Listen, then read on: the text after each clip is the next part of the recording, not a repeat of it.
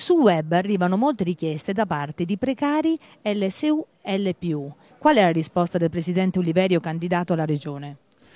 La risposta è che bisogna lavorare per stabilizzare, il precariato deve essere un obiettivo da cancellare, bisogna farlo con determinazione, aprire un confronto chiaro con il governo del Paese perché eh, si assumano eh, con coerenza eh, iniziative per consentire alla Regione di stabilizzare.